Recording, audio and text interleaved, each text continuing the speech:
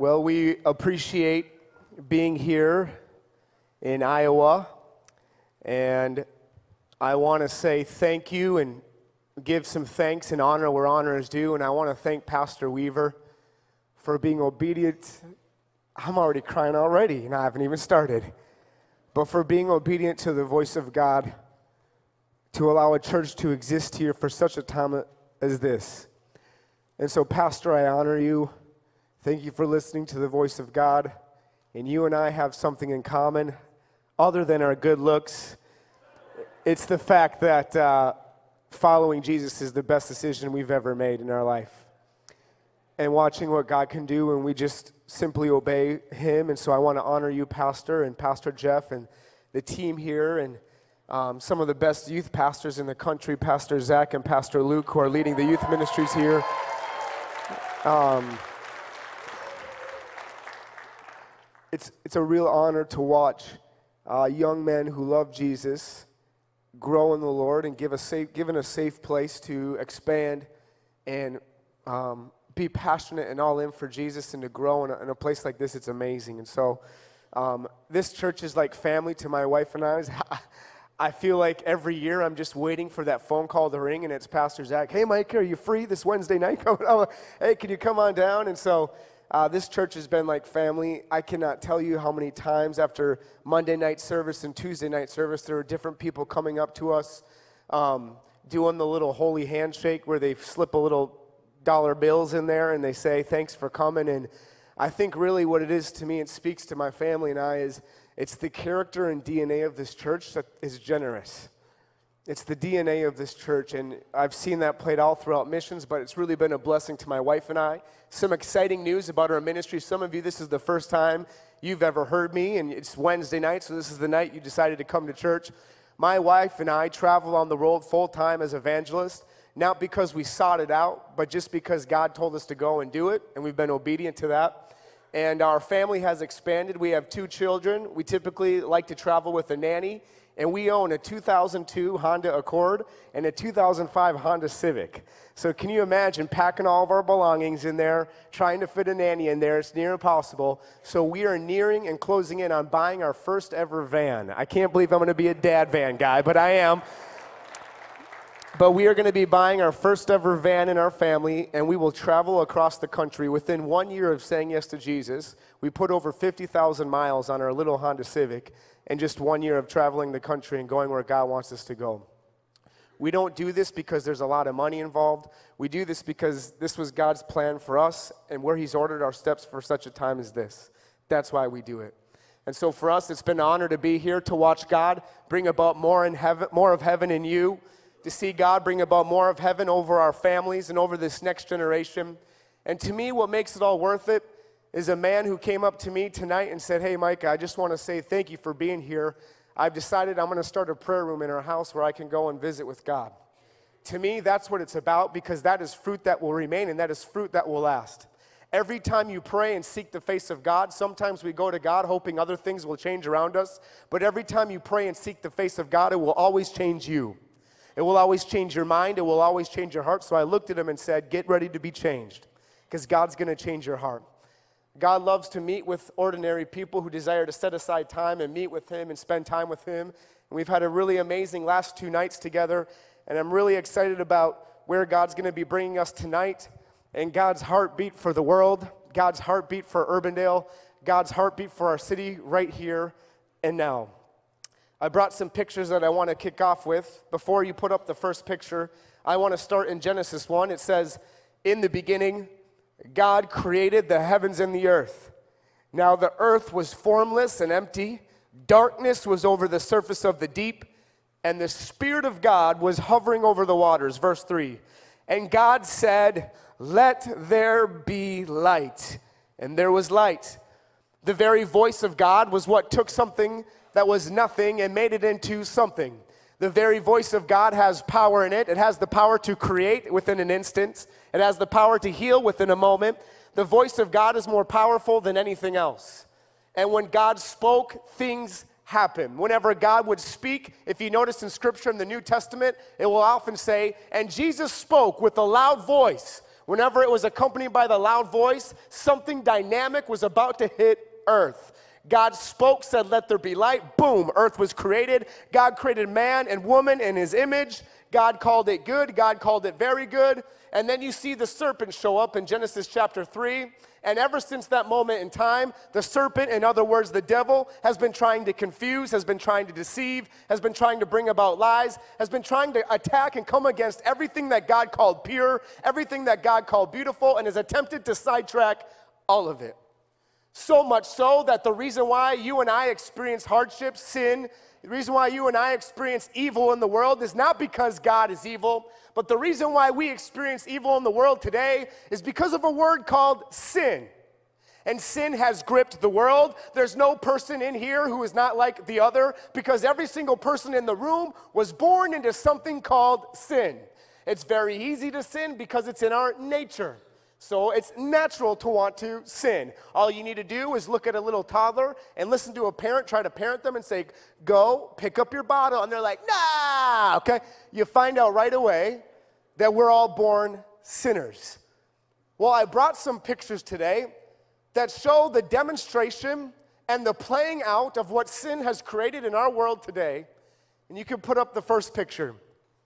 This is a picture of a boy overseas who deals with malnourishment every day.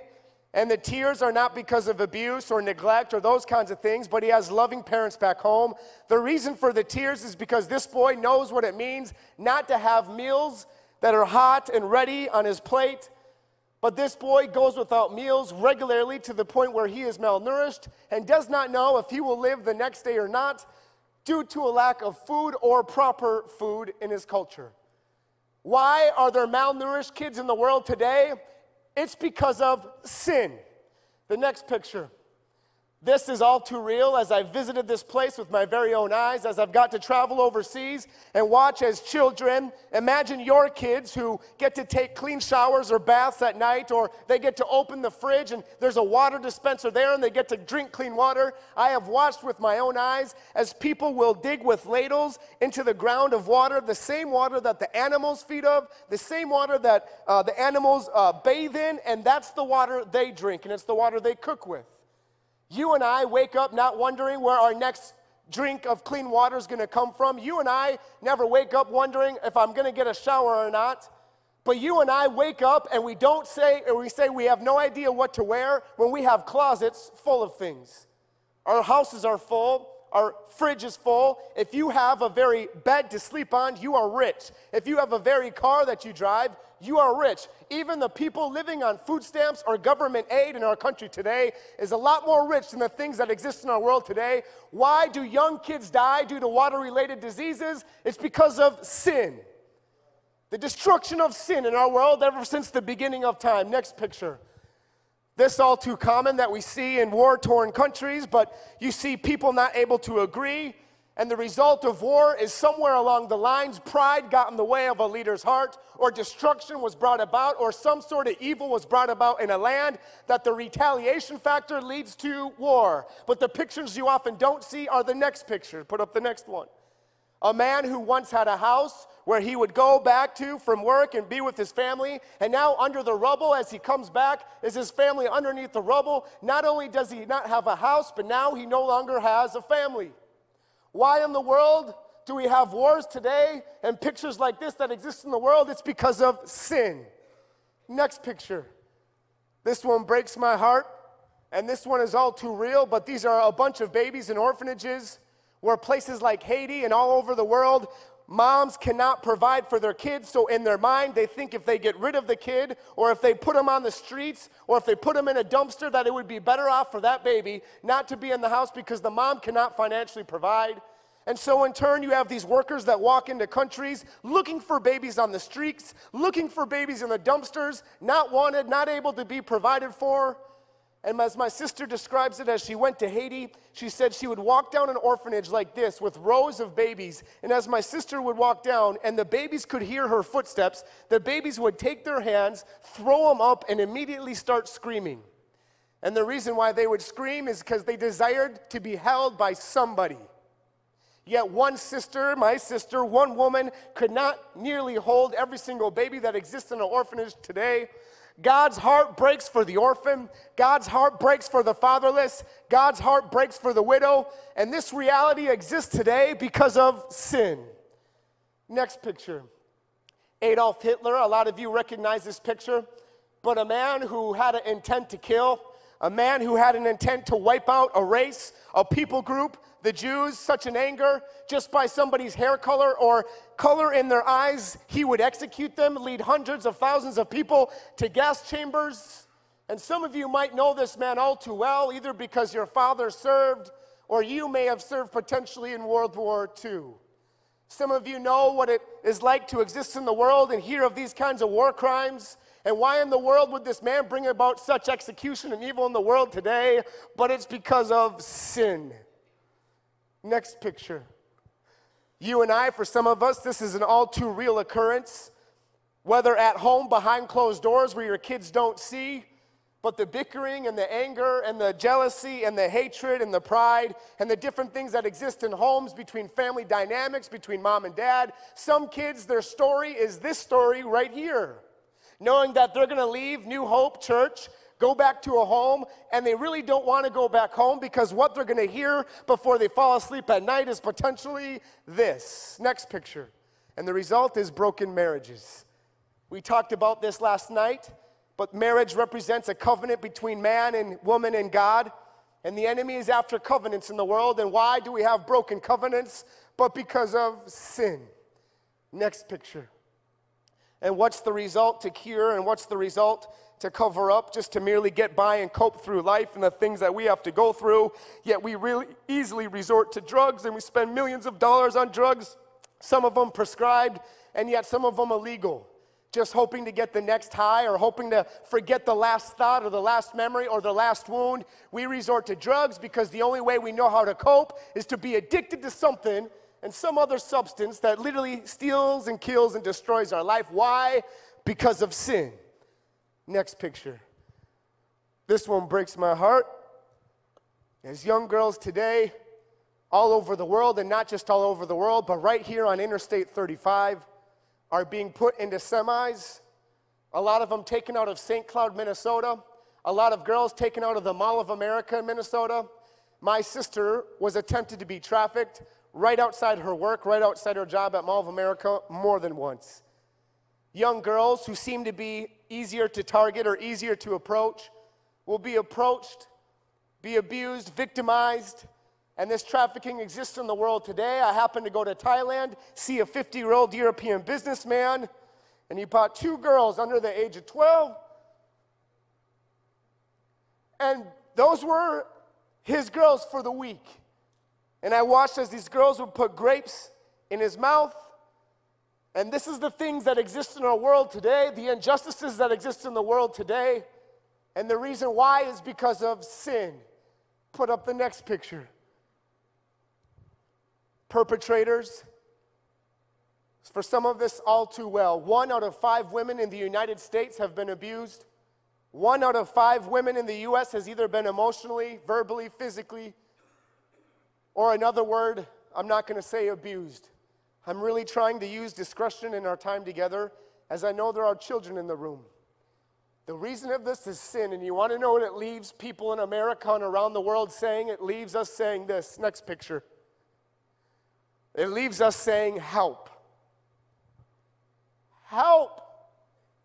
Yet some people don't have the guts Yet some people have too much of a pride where the last thing they want to ask for is help because to ask for help is a sign of weakness. Yet, if somebody could write a giant theme on their life right now, maybe, just maybe, the words that could be on it displayed as a banner of their life is help. Or maybe you and I might be sitting in the pews today here at church on a Wednesday night, and maybe you and I don't resonate with this word help, but I guarantee you this the coworkers, the people you work with every day, the people that walk the halls of your school in high school and junior high, the people around the world are living in the present day reality of sin and they're begging the question is this all that life is meant to be? Somebody help. The solution to healing a heart will never be medicine, although it can help. The solution to healing a heart, a heart that's far away from God, has always been one solution and one solution only. But it's been our Messiah and our Savior Jesus Christ who came to this world over 2,000 years ago. You can put up the next picture on the screen.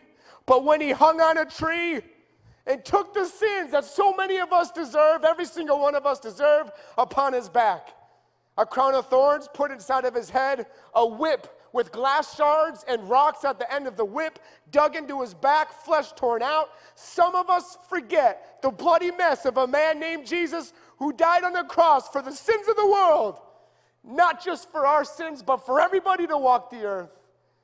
I thank God for the solution that exists today for man who desperately is crying out, Help. I'm thankful for the grace of Jesus that has covered us that has washed us, that has cleansed us, that has purified us, that has bought us and purchased us to where our bodies are no longer our own, but we now have found the solution in Jesus Christ. Only Jesus can bring about healing to the injustices you saw on the screen. But Jesus is no longer walking the earth today. Jesus is not in human flesh in our services today. But 50 days after Jesus died on the day of Pentecost, he said he would pour out his spirit on all flesh. And in an upper room, there were believers there gathered together praying, and the Holy Spirit baptized and filled the believers. And that day, the church was marked when 3,000 people came to follow Christ. God's solution for the world today God's plan today is an open invitation for every single person to experience the gospel, the good news of His saving grace for his life, but it does not stop at saying yes to the gospel. God beckons you and I into a relationship with Him to bring about heaven here on earth and in our city through ordinary people like you and I. Amen? God challenges us the solution and invitation exists for every single person in the room. Yeah, but Micah, you don't know my past. You don't know where I've been. Yeah, but Micah, I don't have my ministerial license. Yeah, but Micah, I'm not a pastor. No, you don't understand. This is your first point tonight if you're taking notes. God is looking for people that are available. He's looking for someone that's available. Tonight, where our text is, and where we see more of heaven here on earth and here in our cities is laid out in all four gospel accounts. Tonight, the miracle that we'll be looking at is the only miracle that is in every single gospel account ex- beyond the cross and the resurrection of Jesus. This is the only miracle that's in all four gospels. You better believe if all four gospel writers are including in a miracle in every single one of them, this miracle was huge and it was important and here in this story that we're going to be covering today unlocks the principles of what it means to see more of heaven here on earth and more of heaven here in our city. If we can catch this, if we can catch God's heart on how He trained up the 12 and the disciples who followed Him closely, this will spill out into everywhere that we go.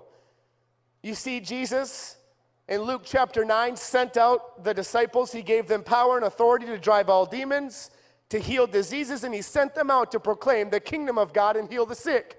If you have ever wondered what your purpose here on earth is, your purpose here on earth is to go and make disciples, baptizing them in the name of the Father, the Son, and the Holy Spirit. Let's take a time out right there. I ask this with all grace possible in my heart to you. Who are you discipling right now?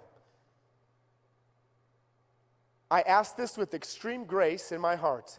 Who are you discipling right now? Every believer that follows Christ should be able to answer that question right there. Who are you discipling? Who are you raising up? Who are you reaching? If you've ever wondered what your purpose is, your purpose is not merely to avoid sin and inch your way into heaven. But your purpose is to know what it means to rule and reign with the power and authority of Jesus living inside of you. We are to taste, see, and know the goodness of God, not only for us, but the goodness of God released around us.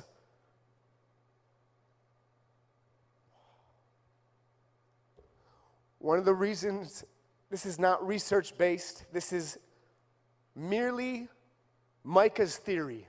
So after I get done saying this, you could crinkle it all up and just chuck it away. One of the reasons why I feel like young people walk away from Jesus and never return back to Him, or people in general for that matter, is because I believe they've only tasted one aspect of Jesus, but not the full Jesus.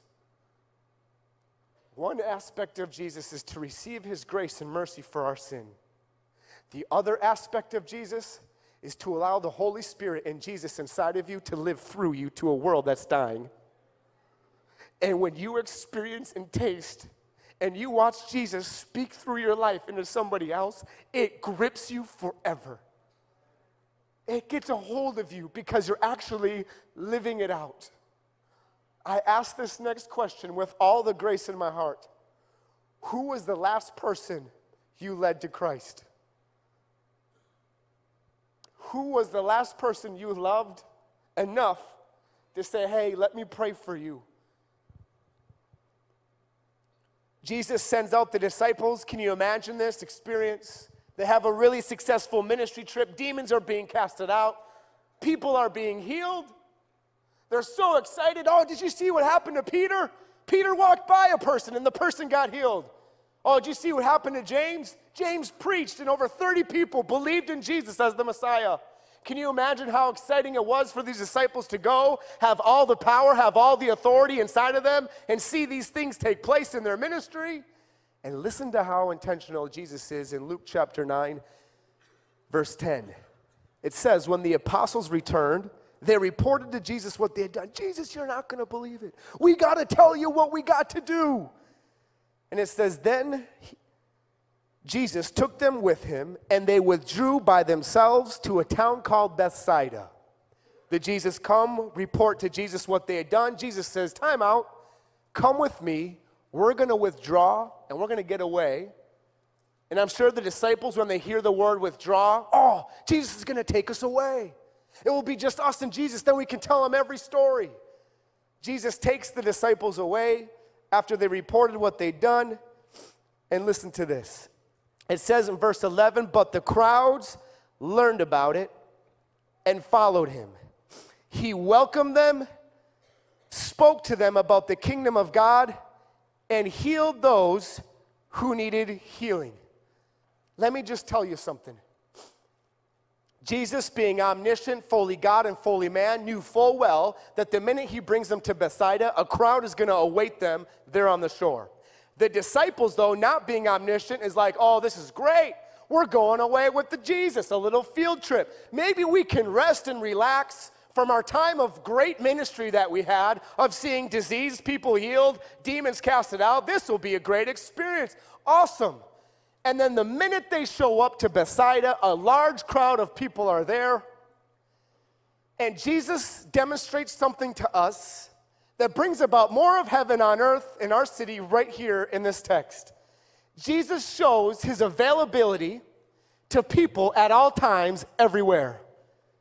Jesus demonstrates, yeah, I told you that we were going to withdraw, but you're going to about to figure out why in the world I even came to this world. And it says that Jesus welcomed them, spoke to them about the kingdom of God, and healed those who needed healing. The things that marked the ministry of Jesus was the preaching of God's word. It was the preaching that the kingdom of heaven was here. Jesus always taught, he always preached. And the other thing that marked Jesus' ministry is demonstration of his power here on earth right now. Jesus made a demonstration not just to the people, Jesus demonstrated to the people closest to him that he was available at all times. Your availability in this world here on earth can literally unlock the supernatural for somebody next to you. Your availability, not your spirituality, not how spiritual you are, just your availability can bring about a miracle in somebody else's life. I wonder what person in 2019 will offer themselves up to God to every day to say, God, I'm available for you to interrupt me. God, I'm available for you to inconvene my life. Most miracles came out of an inconvenience and wasn't planned. It happened along the journey and along the way and along the pathway. I wonder what people in the room will say God, make me available in the classroom. I know of teachers where they can't preach Jesus in the school, but teachers will take it as their mandate that every child that steps foot in their classroom, they will begin praying for that child by name under their breath. What is that teacher doing? But they're merely making themselves available. Your youth pastors don't just preach here on a Sunday morning, they live it out. They go to the local high school here in Urbandale. They go to the middle school. What are they doing? They're making themselves available. Available for what? For God to move and God to intervene. God does not take the qualified or those with the degrees. God takes the available and then qualifies them. God takes those who have a heart to say, God, here am I, send me.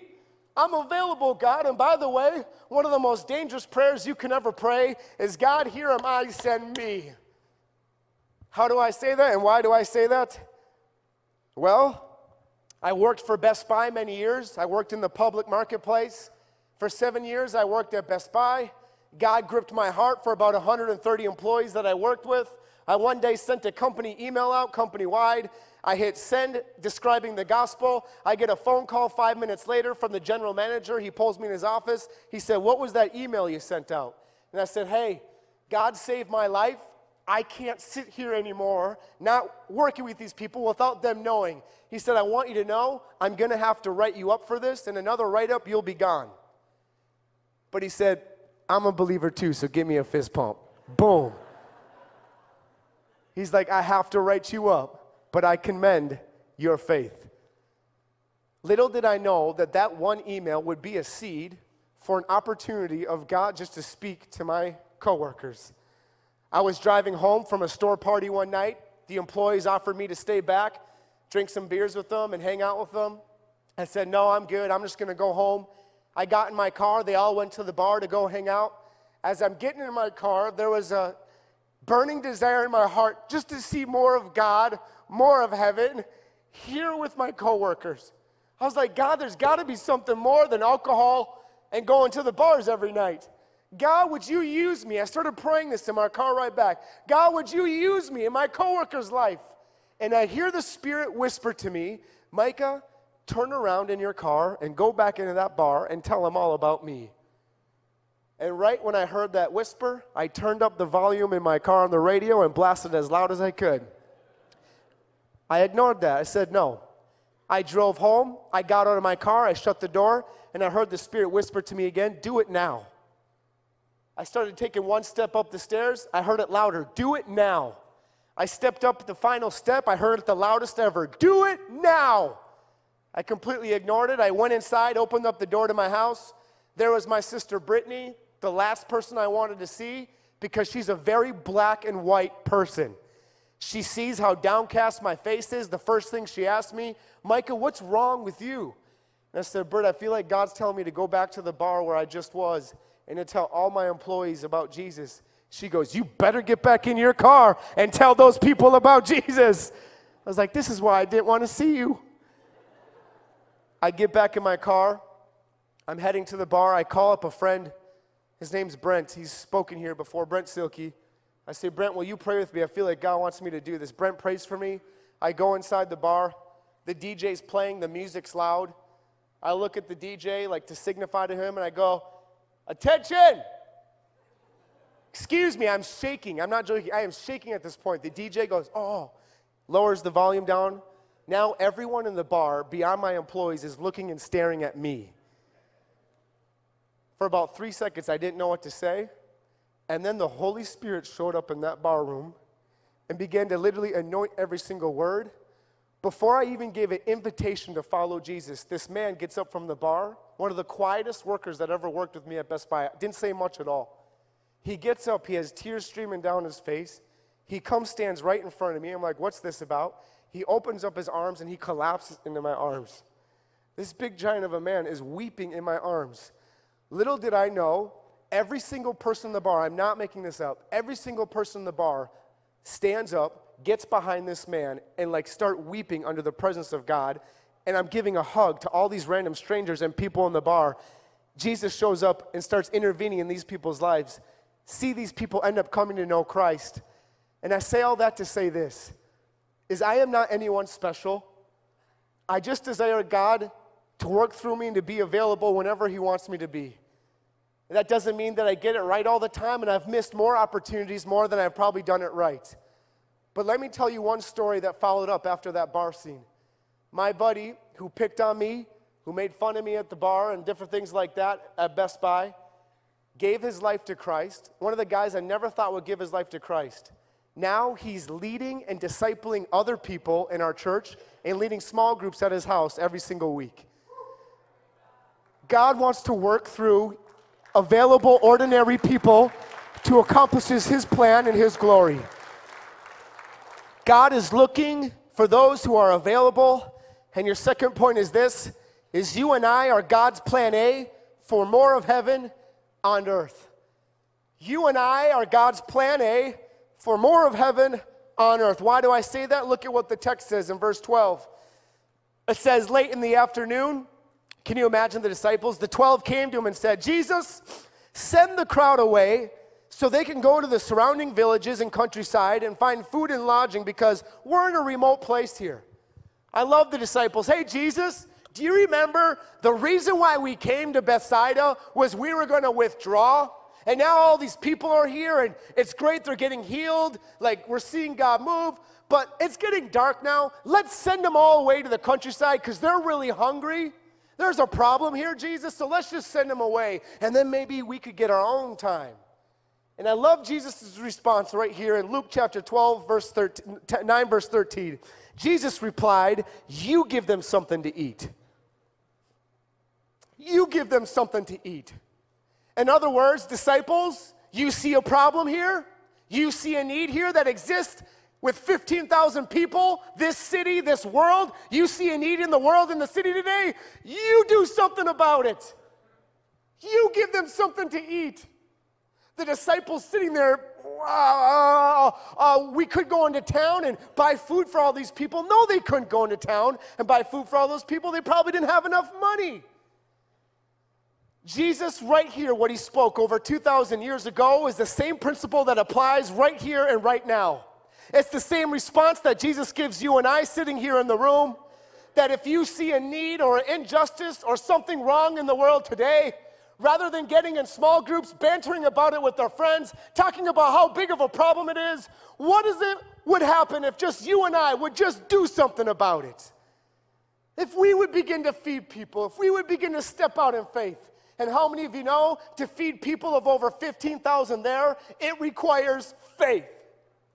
It is impossible to please God without faith. And what God is looking for is people to rise up in faith in Him and say, God, I will begin to feed one. I might not be able to feed everyone, but God, I can feed one. And the disciples, as Jesus says, you give them something to eat, they answered, Jesus, we have only five loaves of bread and two fish. Jesus, we only have five loaves of two of five loaves of bread and two fish. Know what often we do? Is oftentimes when God asks us to do something, we look at it with our own eyes and our own perspective. Let me just say this God's economy is different than ours, God's ways and thoughts are higher than ours. And rather than giving God our excuses, we are merely called to just give God what we have. Rather than giving, looking at God and saying, But God, I don't have what everybody else has. God, I don't have as much money as somebody else. God, I'm not smarter than this person over here. God, I didn't get a degree in this. God, but I got bad grades in this. We are constantly looking at what we don't have versus at what we do have and just giving God what we do have and watching Him do the miracle. God is looking for ordinary people that will just give them what they have and not their excuses. We are called to approach things with spiritual eyes, seeing the way God sees, asking for His hearts. Yet, so many of us are focused on so many of the details that we never even consider faith. Could it be that God leads you right where you're at, and so that you'll respond in faith? Faith walks into a situation, and rather than seeing the impossibilities, Faith says, I know a God that can make this possible. Faith steps in the situation that says, There's no way this can happen, but I believe God can make it happen. God is looking for the church to rise up in faith, and you and I are plan A for God bringing heaven here on earth. I think about students, young kids all over the country, as I get to travel and preach, that aren't looking at what they don't have, but they're looking at what they do have and just giving it to God and watching Him multiply it. I was speaking at a youth convention not too long ago, and there was a young girl in the audience who heard a whisper from the Holy Spirit saying, I want you to give $1,000 to Speed the Light. If you don't know what Speed the Light is, it's a missions program where students across the country will give money to missionaries. They'll sacrifice. Your church participates in that. This young girl who's 12 years old, sitting at a youth convention amongst a bunch of people, the Holy Spirit says, Give $1,000 to Speed the Light. A 12 year old. Don't tell me God cannot work through young people. As this young girl dared to dream and say, God, what do I have? She looked around. She didn't know that she really had much. But what she did have was $400. You want to know what she did with that $400? The Lord prompted her to buy a pony because her family trains up ponies and sells them. So she took the $400 that she had saved up, bought a pony so it could be utilized as a missions pony. She took a step of faith. God said to give what she had, God said to do something. She surrendered the $400, bought a pony. She trained it for nine months, put it on an ad to try to sell the pony. No one was calling, no one was buying. She got discouraged, went to her youth group one night.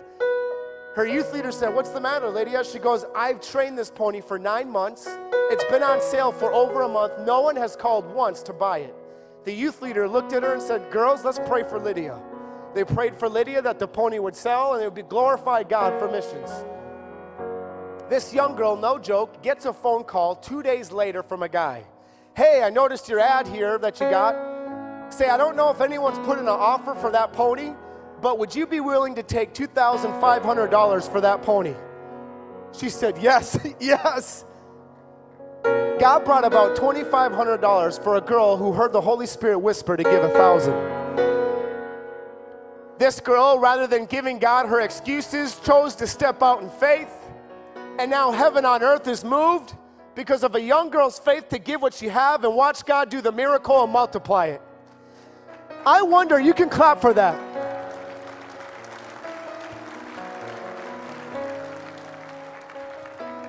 When was the last time you risked it all? When was the last time you didn't play it safe? When was the last time you got out of your comfort zone?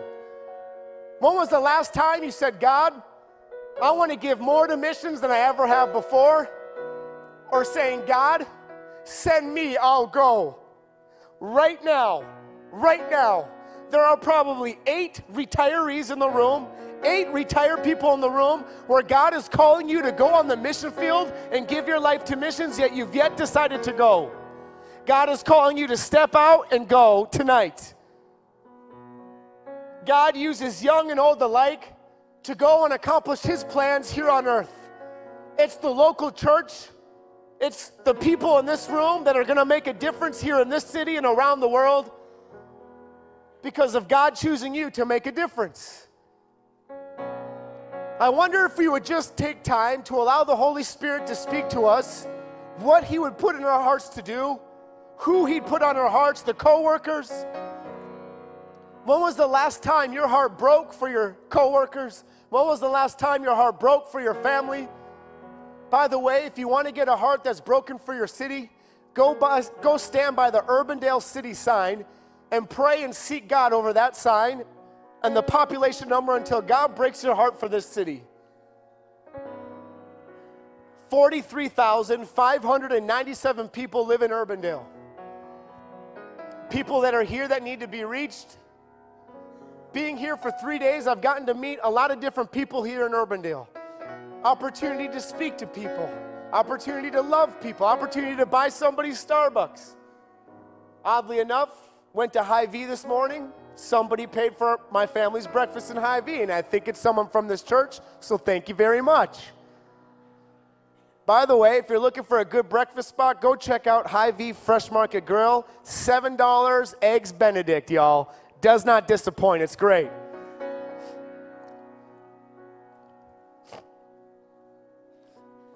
I love the story of Lydia. But more than just hearing stories, that story can be lived out through you and I every single day. Who's going to be available and who will begin to understand God? I believe that you want to break my heart in a new way to see hell emptied and to see heaven populated. Today it broke my heart at the gym. I was at the gym at Planet Fitness. And I hate what sin does. I hate how sin destroys. It breaks my heart being out in public, being at the gym, seeing so many people that may not know Jesus. How much do we have to hate people to not give the greatest solution that exists in the world and in our hearts right here and not tell them about it? God, break our hearts for this city. God, break our hearts for this world. Jesus said, Wait until I pour out my spirit, and there you will be baptized in the Holy Spirit to be my witnesses in Jerusalem, Judea, Samaria, and to the ends of the earth. The whole purpose of the Holy Spirit coming to baptize you is not so you can say that you speak in tongues, it's so that you can be an empowered witness for Christ. I know plenty of people that speak in tongues that have never seen one person come to know Jesus. God's heart came for the lost. He came for the orphan, the brokenness, the lost people, those at the bars, those that are not here in the church. How miserable of a life would it be to spend our entire life coming to church and not once ever seeing someone far from Christ come to know Him? You and I have a role to play in the kingdom of God. And there's an urgency, and the time is now. There's never a bad time to be a nightlight in somebody's life. I think sometimes when we think about reaching the world or reaching people, we think we need to be this loud, boisterous preacher or this very charismatic individual. No, it's creating a nightlight in somebody's life. It's buying somebody's meal, it's helping carrying the groceries, it's helped serve people, it's helping serve the less fortunate. 100 years from now, nobody will remember your name, but 100 years from now, people will still be lifting up the name of Jesus. This world is not about us, it's not about what we can get or accumulate, but this life is all about God and His glory living through us. It's magnifying Him to the world and to the city and people around us. God, help our lives to count. The reason why Paul was shipwrecked, abused, beaten, had a bounty on his head everywhere he went was because he had a love to know Christ, to share in his sufferings, and a love for people. God created us a love for people.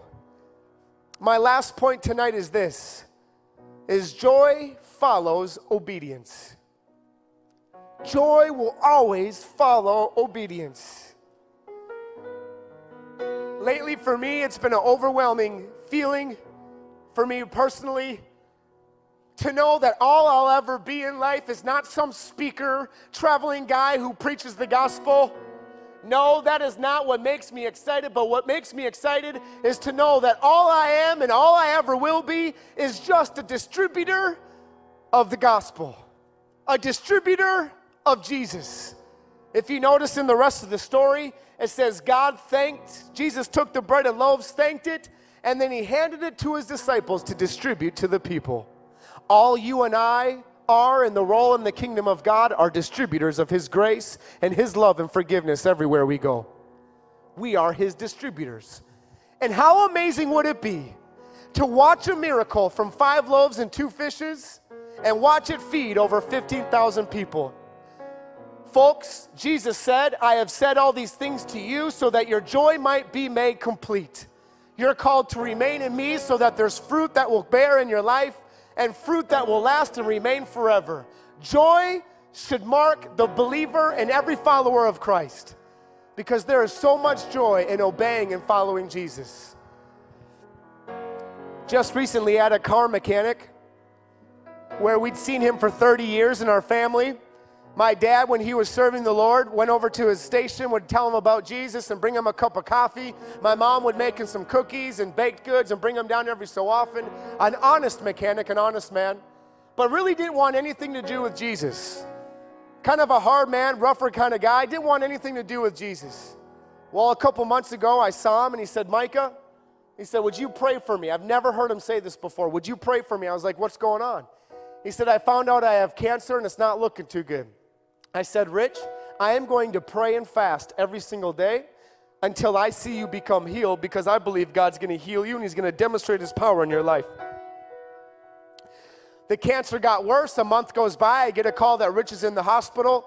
A liter of fluid is dripping from his lungs every day. I go into the hospital. I see him laying there. I spend about an hour on his bedside. And right before I get up to leave, he looks at me. He says, Micah, he said, I got a question for you. And I said, Yeah, what's going on? He said, I had some Mormon guy at my shop uh, come to my house and like put oil on me and prayed for me. And he goes, What do you think of this Mormon stuff? What, what are your thoughts on it? And my buddy and I were there, understood the question later, but Rich was asking Micah, Where does my soul go? Micah, what happens to my soul? Micah, I need to know the truth. So, right then and there, we go next to his bedside, we grab his hand, we begin sharing the simple gospel message, which is this Rich, one thing I do know is this is Rich, I was once lost. I was once in a dark place.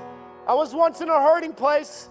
But in my darkness and in my lostness, I received something I never thought I deserved. I received a grace that met me and a love that found me. And his name is Jesus, Rich. He doesn't expect you to get your act together to come to Him. He comes to you in the middle of your brokenness, Rich.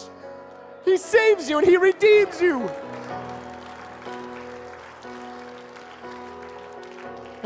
Rich starts doing what I'm doing. He starts crying in his bed. He's a 60 year old man.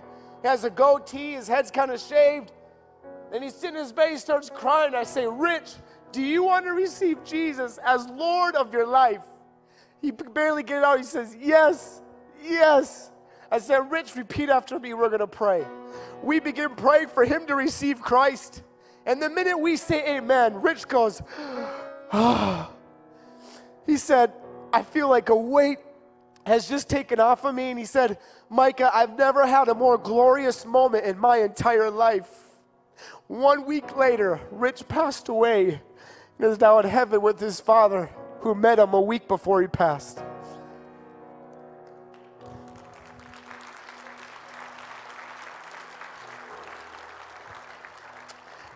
The reason why I'm so emotional is because it's really personal. For 30 years, it started with my father going to him, putting a seed of the gospel. My dad passes away, my mom's still bringing him cookies.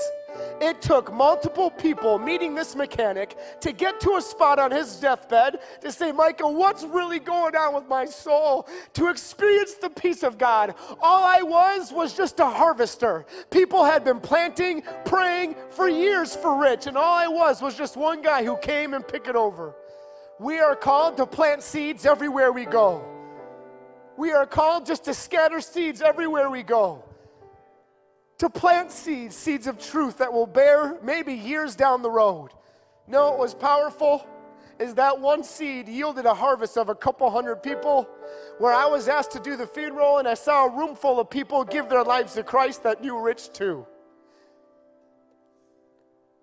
We are called to be available and God is looking for those who are available. God says, You are my plan A to bring about healing to the injustices on the screen and the people around you in your life. And boy, is there so much joy in just obeying Jesus. I cannot tell you how many times I've just been in public and people will start crying because they encounter the grace of Jesus or they hear about Jesus. I wish I could share story after story. This is my wife behind me and she's going to sing for you. And I want you just to sit there in just a little bit. I want to publicly honor and thank my wife because while I was preaching every single night, which you did not see, was my wife in a hotel room with two kids, taking care of them so I could be away to pray and sermon prep for every single night that's here. What we get to do as a team, it's a ministry that we get to embark on together. And I've asked her just to sing over you and before she does that, I want to leave you with five practical things that you can play out in your life this year. One of these five might apply. Number one, go on a missions trip. If you've yet to go on a missions trip, go on a missions trip. You begin to get God's heart. Number two, give to missions. How do you move heaven on earth? Be generous in your missions giving.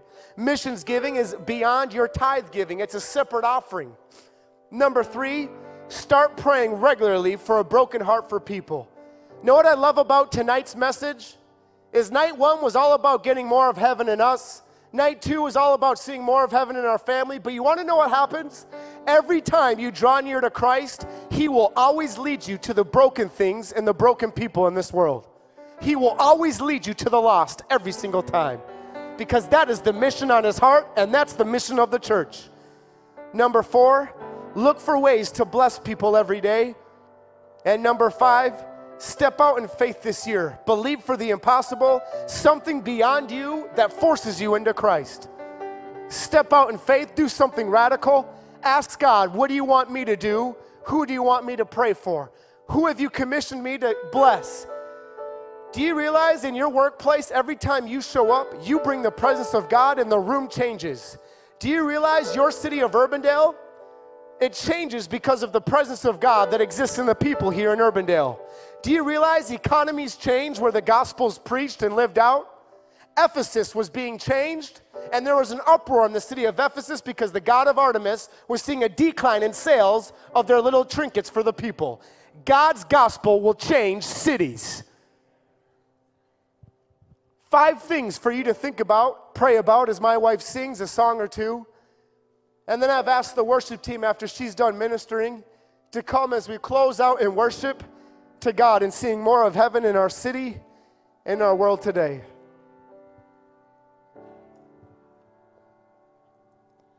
He leadeth me.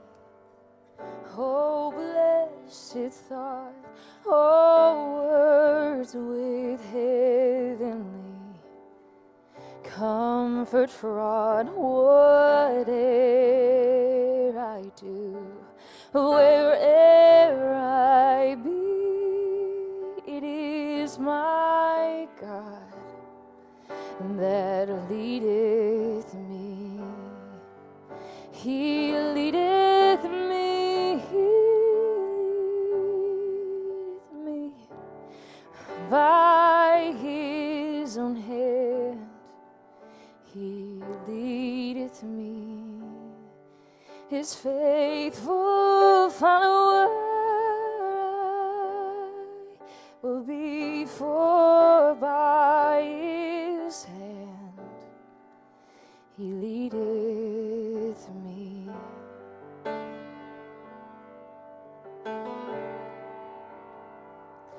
Sometimes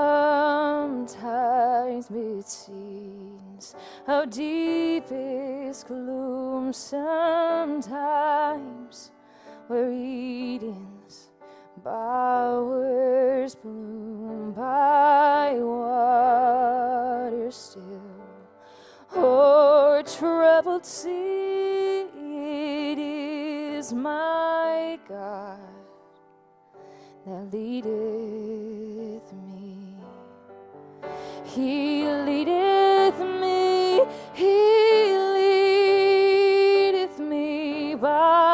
his own hand. He leadeth me, his faithful follower. I am gonna be since by, by his hand. He leadeth me. Oh, he's faithful, always faithful, always true, always true, always there. And when my time on earth is done when by thy grace the victory's won, even death's cold stare. I will not flee, since God through Jordan, my God through Jordan, oh, my God through Jordan, he leadeth me.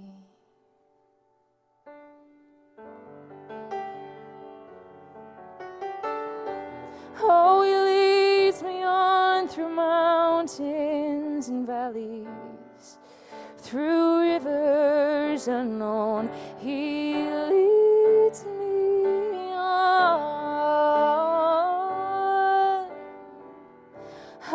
I am gonna be a faithful follower, faithful follower, since by his hand he leadeth me.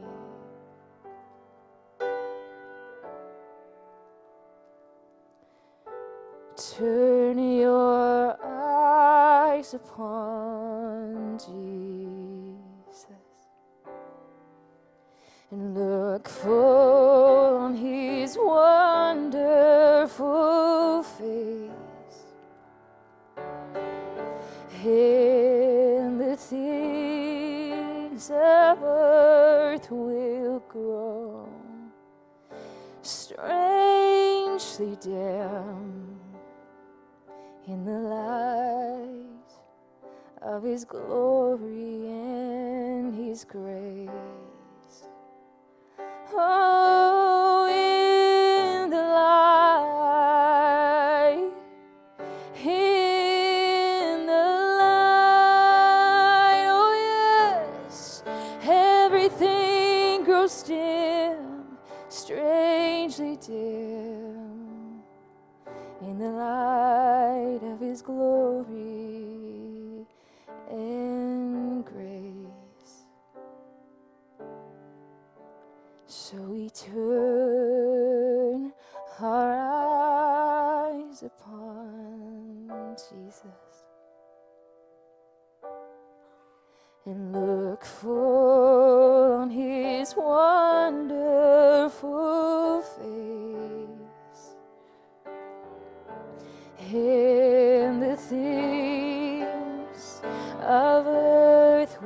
grow strangely dim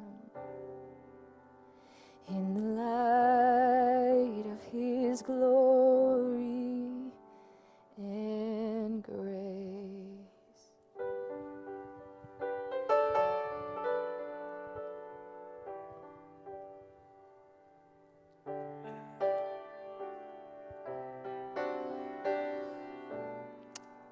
On my mom's side, her dad, the Lutheran pastor who turned into a mailman, before he passed away with pancreatic cancer, the one thing that was said about my grandpa was that he would not stop talking to every person that came into his room and said, Do you know Jesus? Do you know Jesus? Let me tell you about Jesus. Every person that would come in the room, every nurse, every doctor, do you know Jesus? You have to know Jesus. You got to know Jesus. And my grandpa said, his one regret in life was waiting on his deathbed to tell people about Jesus. He said, I wish I would have had an urgency to tell Jesus, tell people about Jesus before I took my last breath.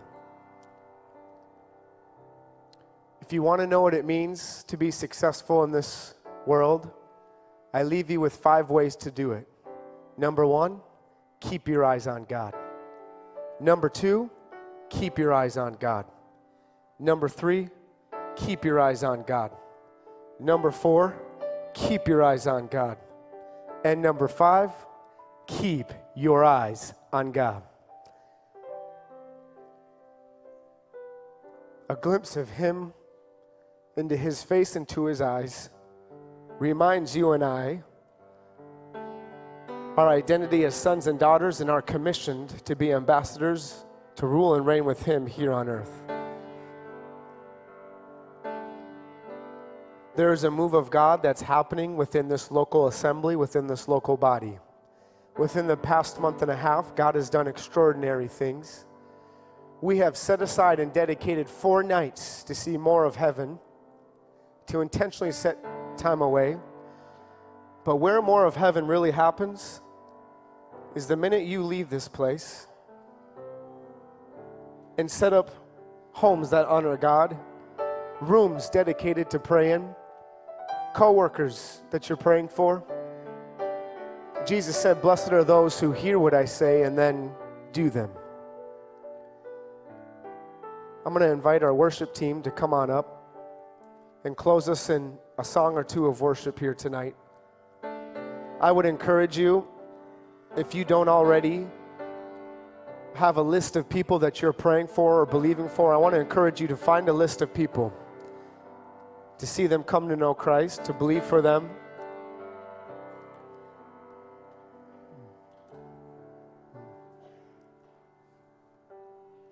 God, I thank you for this assembly and for this gathering of people and how your spirit is pouring out on all flesh.